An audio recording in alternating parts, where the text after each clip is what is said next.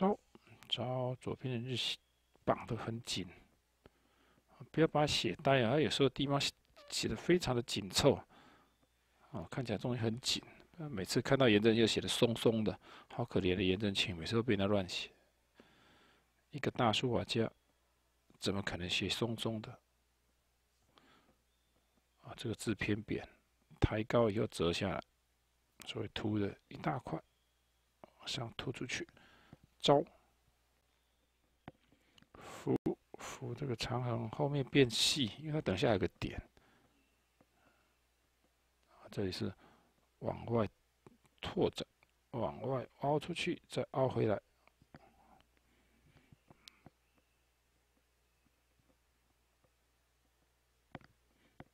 好，这里因为扭转产生一种圆劲之势，好，这个点子压在上面。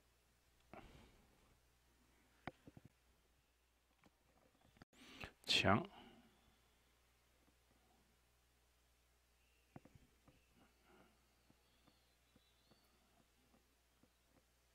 嗯，这里圆劲，啊，开始这边要略扁，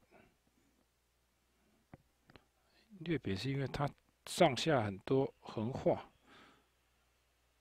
折突出去，再缩进来，上宽下窄，两个的上宽下窄。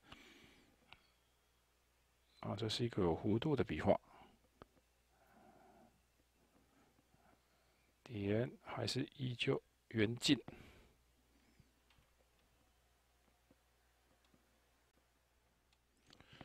学学的话，中间打叉叉，在唐朝大概只有他会写成这样，中间打两个叉叉。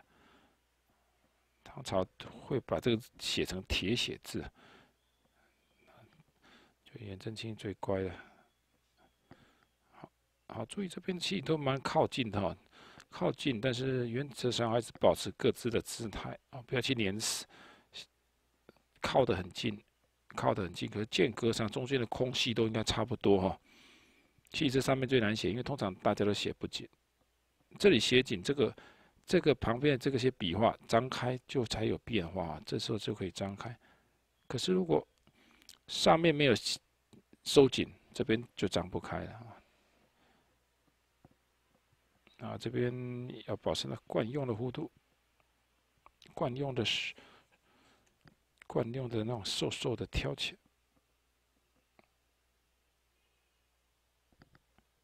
学十啊，长横还是偏细，这在多宝塔时候习惯这样写，所以他写到这边的时候，横画还是细，直画还是。粗哦，跟多巴塔那时候一样，横画细